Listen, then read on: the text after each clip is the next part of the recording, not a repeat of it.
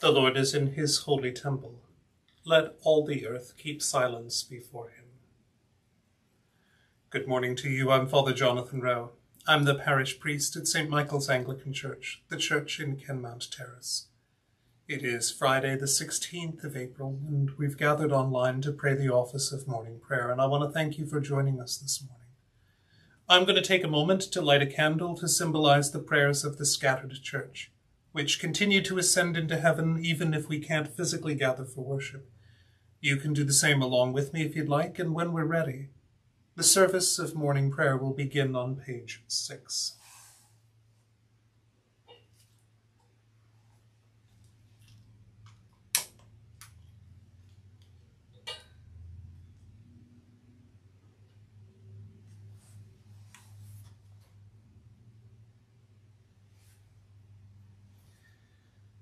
O Lord, open thou our lips, and our mouth shall show forth thy praise. O God, make speed to save us. O Lord, make haste to help us. Glory be to the Father, and to the Son, and to the Holy Ghost, as it was in the beginning, is now, and ever shall be, world without end. Amen. Praise ye the Lord. The Lord's name be praised. Alleluia, Christ is risen. O come, let us worship. Alleluia. O come, let us sing unto the Lord. Let us heartily rejoice in the strength of our salvation. Let us come before his presence with thanksgiving, and show ourselves glad in him with psalms. For the Lord is a great God, and a great King above all gods. In his hand are all the corners of the earth, and the strength of the hills is his also. The sea is his, and he made it, and his hands prepared the dry land. O come, let us worship and fall down, and kneel before the Lord our Maker. For he is the Lord our God, and we are the people of his pasture, and the sheep of his hand.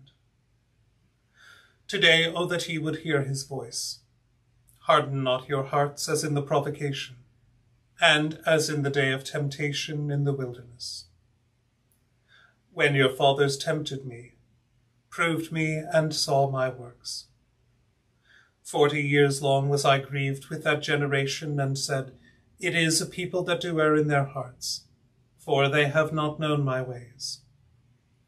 Unto whom I swear in my wrath, that they should not enter into my rest. Glory be to the Father, and to the Son, and to the Holy Ghost, as it was in the beginning, is now, and ever shall be, world without end. Amen. Alleluia, Christ is risen. O come, let us worship. Alleluia. The Psalms appointed for this morning are Psalms 16 and 17, beginning on page 345. Preserve me, O God, for in thee have I put my trust. I have said unto the Lord, Thou art my God. I have no good apart from thee. All my delight is upon the saints that are in the earth and upon such as excel in virtue. But they that run after another God shall have great trouble. Their drink offerings of blood will I not offer, neither make mention of their names within my lips. The Lord himself is the portion of mine inheritance and of my cup. Thou shalt maintain my lot. The lines are fallen unto me in pleasant places. Yea, I have a goodly heritage. I will thank the Lord for giving me counsel. My heart also instructeth me in the night season. I have set the Lord always before me, for he is on my right hand. Therefore I shall not fall. Wherefore my heart is glad, and my glory rejoiceth my flesh also shall dwell in safety. For why? Thou wilt not leave my soul to hell, neither wilt thou suffer thy Holy One to see corruption. Thou shalt show me the path of life. In thy presence is the fullness of joy. And at thy right hand there are pleasures for evermore. Hear the right, O Lord, consider my complaint. And hearken not unto my hearken unto my prayer that goeth not out of feigned lips. Let my sentence come forth from thy presence and let thine eyes look upon the thing that is right. Thou hast proved and visited mine heart in the night season. Thou hast tried me, and shalt find no wickedness in me. For I am utterly purposed that my mouth shall not offend. As for the works of men, by the word of thy lips, I have kept me from the ways of the destroyer. My steps have held fast to thy paths, and my feet have not slipped. I have called upon thee, O God, for thou shalt hear me. Incline thine ear to me, and hearken unto my words. Show thy marvellous loving kindness, thou that art the Saviour of them that put their trust in thee, from such as resist thy right hand. Keep me as the apple of an eye. Hide me under the shadow of thy wings. From the ungodly that trouble me, even mine enemies that compass me round about to take away my soul. They close their heart to pity, and their mouth speaketh proud things. They lie waiting in our way on every side watching to cast us down to the ground. Like as a lion that is greedy of his prey, and as it were a lion's whelp, lurking in secret places. Up, Lord, confront him and cast him down. Deliver my soul from the ungodly by thy sword. By thy hand from men, O Lord, from men of the world, who have their portion in this life, and whose bellies thou fillest with thy treasure. They have children at their desire, and leave the rest of their substance for their babes. But as for me, I shall behold thy presence in righteousness, and when I awake, I shall be satisfied with thy likeness. Glory be to the Father, and to the Son, and to the Holy Ghost, as it was in the beginning, is now, and ever shall be, world without end. Amen. The first lesson is written in the book of the prophet Daniel, the third chapter, beginning at the first verse. King Nebuchadnezzar made an image of gold, whose height was sixty cubits and its breadth six cubits. He set it up on the plain of Dura in the province of Babylon. Then King Nebuchadnezzar sent to assemble the satraps the prefects and the governors, the councillors, the treasurers, the justices, the magistrates, and all the officials of the provinces, to come to the dedication of the image which King Nebuchadnezzar had set up.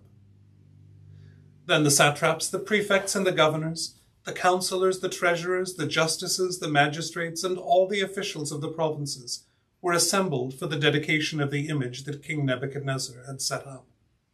And they stood before the image that Nebuchadnezzar had set up.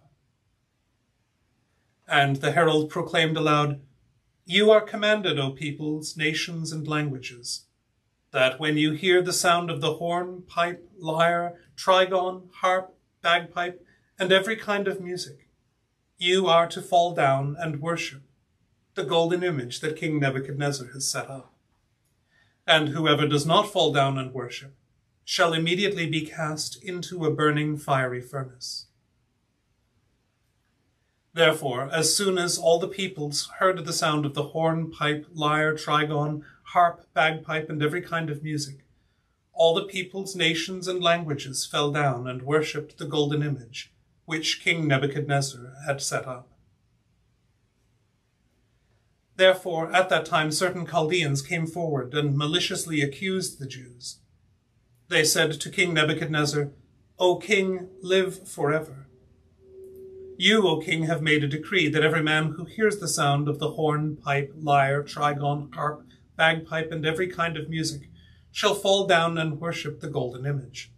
And whoever does not fall down and worship shall be cast into a burning fiery furnace.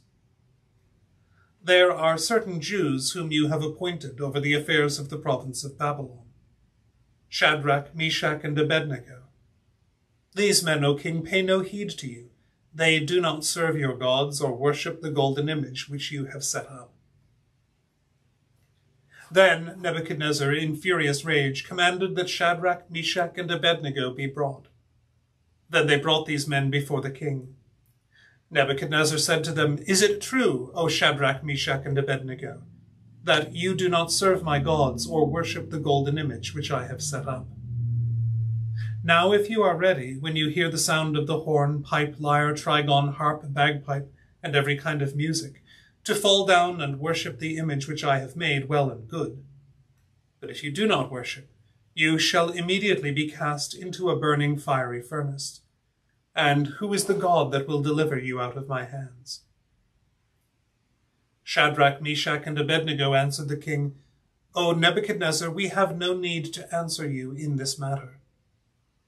If it be so, our God whom we serve is able to deliver us from the burning fiery furnace.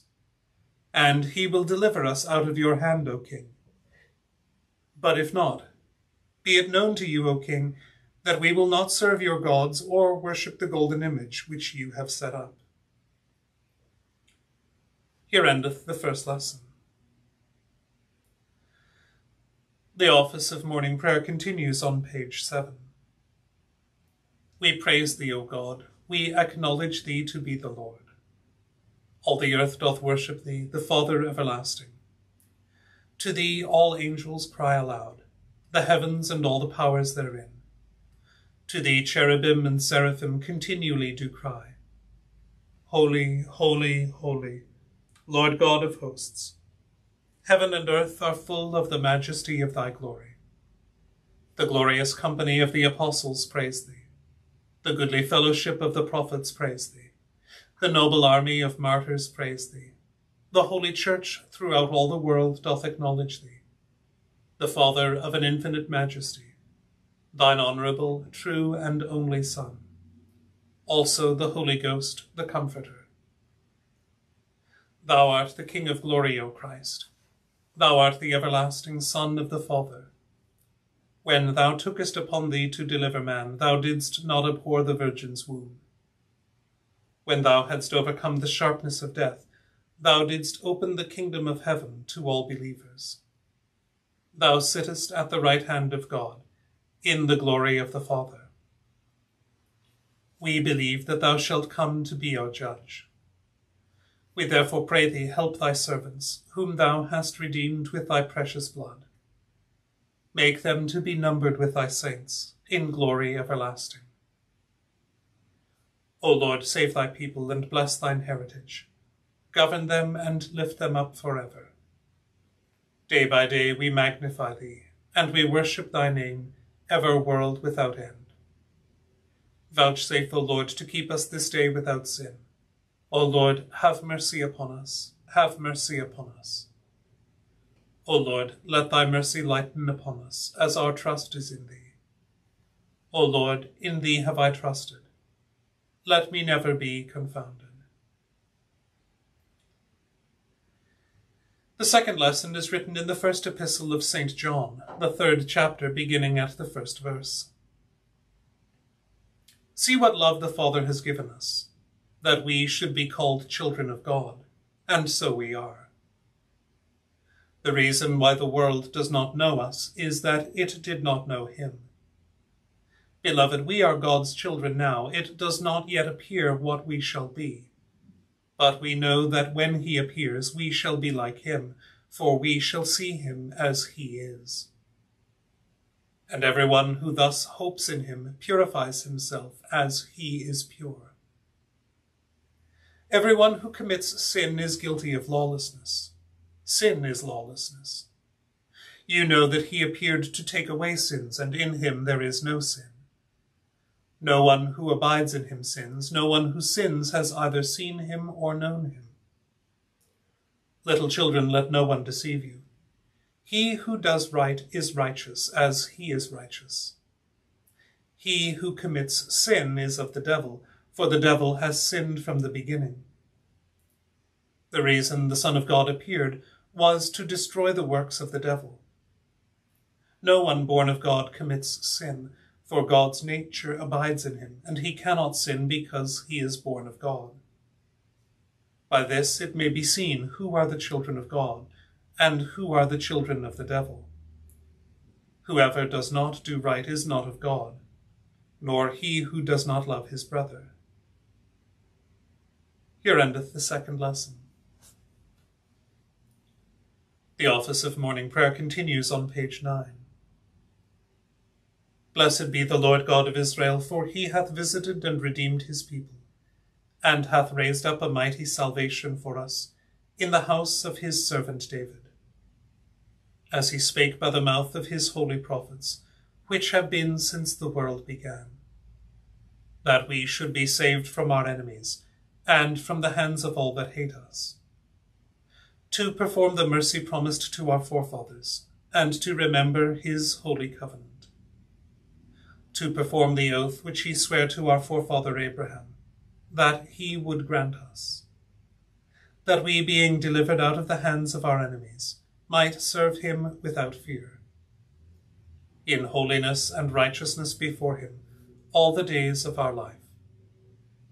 And thou, child, shalt be called the prophet of the highest for thou shalt go before the face of the Lord to prepare his ways, to give knowledge of salvation unto his people, for the remission of their sins. Through the tender mercy of our God, whereby the day spring from on high hath visited us, to give light to them that sit in darkness and in the shadow of death, and to guide our feet into the way of peace. Glory be to the Father, and to the Son, and to the Holy Ghost, as it was in the beginning, is now, and ever shall be, world without end. Amen. I believe in God, the Father Almighty, maker of heaven and earth, and in Jesus Christ, his only Son, our Lord, who was conceived by the Holy Ghost, born of the Virgin Mary, suffered under Pontius Pilate, was crucified, dead, and buried. He descended into hell. The third day he rose again from the dead. He ascended into heaven and sitteth on the right hand of God the Father Almighty. From thence he shall come to judge the quick and the dead. I believe in the Holy Ghost, the holy Catholic Church, the communion of saints, the forgiveness of sins, the resurrection of the body, and the life everlasting. Amen. The Lord be with you, and with thy spirit.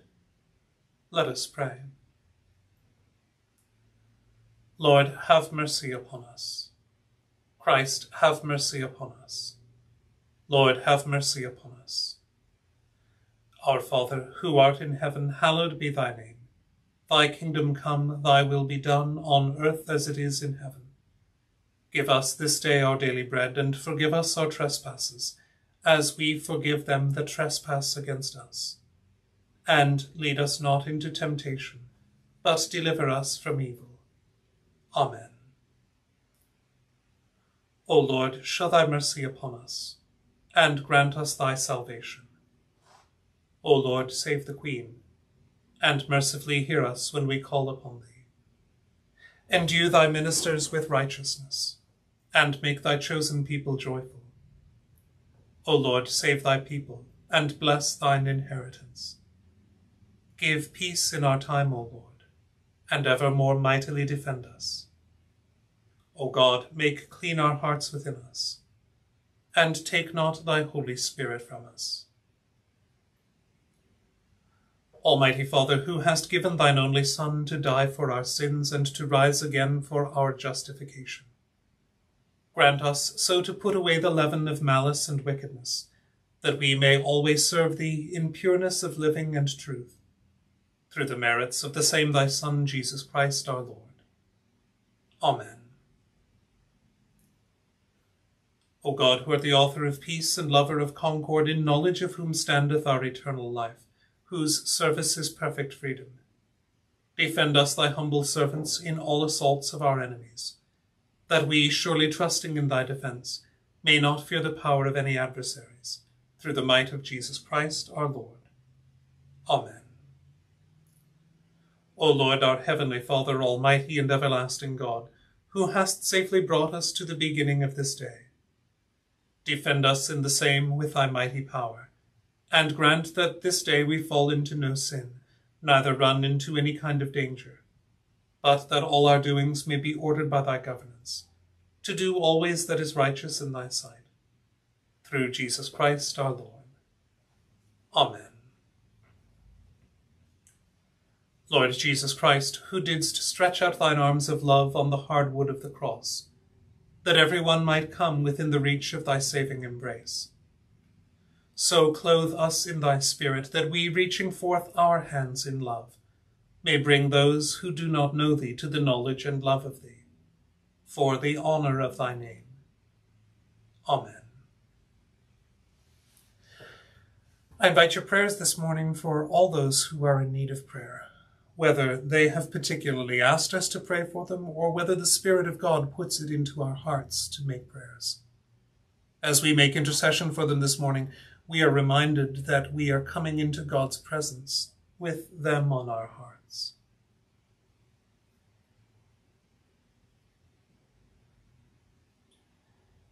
Almighty God, who hast given us grace at this time with one accord to make our common supplications unto thee, and dost promise that when two or three are gathered together in thy name, thou wilt grant their requests.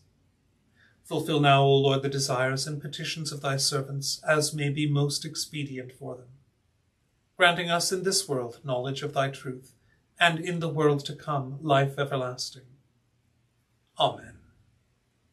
The grace of our Lord Jesus Christ, and the love of God, and the fellowship of the Holy Ghost be with us all evermore. Amen.